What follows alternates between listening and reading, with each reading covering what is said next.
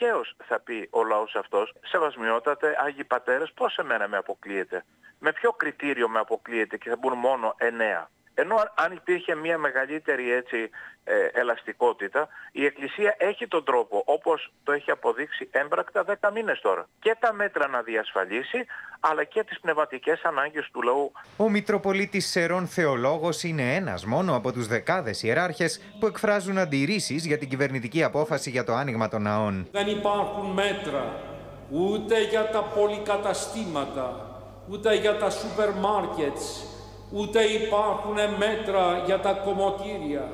Είδατε πουθενά αστυνομία σε όλα αυτά τα οποία προανέφερα.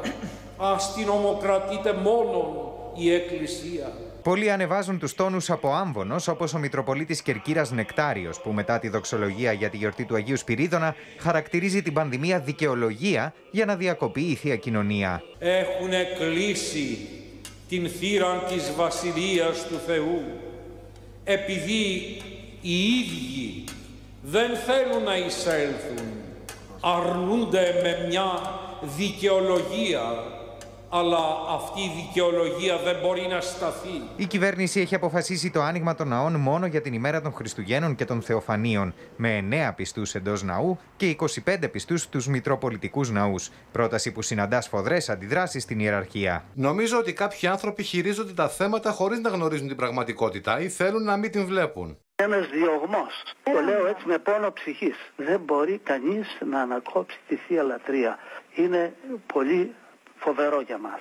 Είναι εντελώς απαράδεκτο. Σε αυτό το κλίμα, η Διαρκής Ιερά Σύνοδος θα συνεδριάσει την προσεχή Τρίτη. Σύμφωνα με πληροφορίες του ΣΚΑΙ, η συμβιβαστική πρόταση αφορά άλλη μία ημέρα λειτουργίας την 1η Γενάρη, να διεξαχθούν κυλιόμενες λειτουργίες ώστε να εξυπηρετηθούν όλοι οι πιστοί και να επιτρέπεται η ατομική προσευχή από τις 21 Δεκεμβρίου έως τις 6 Ιανουαρίου. Έσπευσε κατά κάποιο τρόπο η πολιτεία να προκαταλάβει με την απόφαση της αυτή την απόφαση της Εκκλησίας. Δημιουργούνται πολύ περισσότερα προβλήματα. Θα το δει αυτό η Ιερά Σύνοδος και θα το εκφράσει επισήμως. Να υπάρχει μια ελαστικότητα. Ο Μητροπολίτης Ηλίας Γερμανός ζητά ανοιχτούς ναούς με επιστολή του προς την Ιερά Σύνοδο.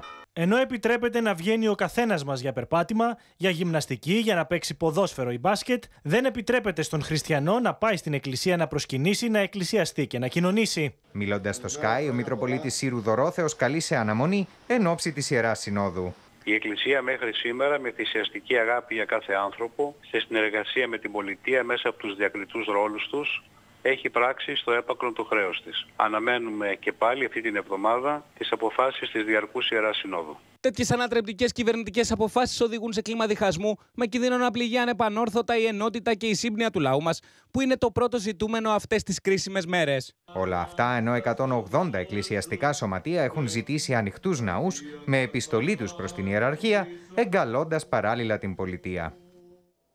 Υπάρχουν νεότερα λοιπόν σύνδεση με το Φώτη Νάκο, αρχισυντάκτη του sky.gr. Φώτη, καλησπέρα. Έχεις πληροφορίες για τις προτάσεις που θα συζητηθούν στη συνεδρία της Διαρκούς Ιεράς Συνόδου μεθαύριο Τρίτη. Ακούσαμε και στο ρεπορτάζ την συμβαστική πρόταση της Εκκλησίας, η οποία θα αναλάβει να τηρήσει και όλα τα μέτρα προστασίας, αν υπάρξει αυτή η ελαστικότητα από πλευράς κυβερνήσεως, ε, και να δοθεί ό,τι δοθεί, ας πούμε, το αντίδρομο σε συσκευασμένο. Όμως, εάν τελικά η πολιτεία επιμείνει, υπάρχουν και πιο σκληρές φωνές που θα εκφραστούν στη Σύνοδο, κυρίως από Μητροπολίτες στη Βόρεια Ελλάδα. Αυτοί θα ζητήσουν να μην ανοίξουν οι εκκλησίες καθόλου για πιστούς, να συνεχίσουν λειτουργίες έτσι όπως γίνεται μέχρι σήμερα και με ανακοίνωσή της είτε η Διαρκέρα Σύνοδος είτε και ο ίδιος ο Αρχιεπίσκοπος ε, να καταγγείλουν ότι η κυβέρνηση ευθύνεται γι' αυτό. Αυτό είναι σκληρή πρόταση. Ναι, είναι, ναι. είναι μια δεύτερη πρόταση που μπορεί ε, και θα, θα διατυπωθεί στη Σύνοδο και ανάλογα με τις εξελίξεις θα δούμε αν θα τύχει, ε, αν θα τύχει αποδοχή. Αν και είναι δύσκολο να τύχει κάτι τέτοιο, γιατί οι περισσότεροι ιεράρχες ζητούν να, να, προσπαθήσουν να βρουν μια συμβαστική λύση με την πολιτεία. Και υπάρχουν και φωνές Μητροπολιτών οι οποίοι δεν εκφράζονται στη Σύνοδο, ακραίες, όπως ο Κιθήρων που ακούσαμε και στο ρεπορτάζ, οι οποίοι ζητούν η Εκκλησία να μην κάνει πίσω, να παρανομήσει και να ανοίξει εκκλησίες για τους πιστούς. Ε, θεωρώ ότι μέσα σε αυτή τη, ε, τη διάρκεια των δύο ημερών θα υπάρξουν και επαφές με την πολιτεία.